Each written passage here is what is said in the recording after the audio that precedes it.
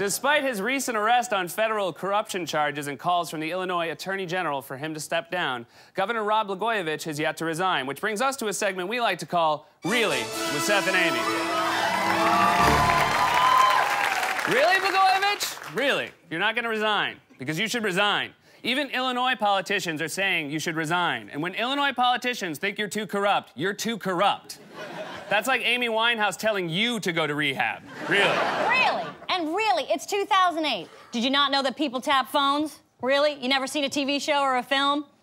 When you're doing something illegal, you need to speak in code. When I call up my weed dealer and I ask for $50 worth of circus tickets, you know what he doesn't give me? Circus tickets. Really? Really? And really, how did you think you get away with this? George Ryan, the governor before you, was in jail for pretty much the same thing. When people are burned, they become vigilant. Really.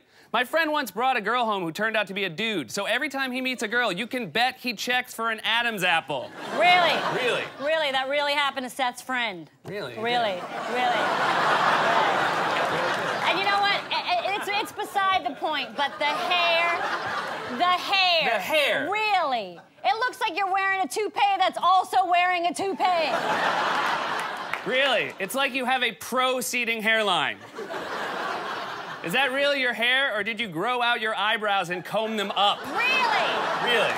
It's like someone put the hair on backwards on one of those Fisher Price people. Really?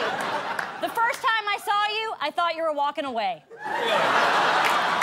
Really? Really? Blagojevich, you're supposed to put the ro Rogaine on the crown, not the forehead. really, I thought you had a bad temper, but maybe your head is just hot from being under that bearskin rug. Really? Really? Huh. I ah! mean, really?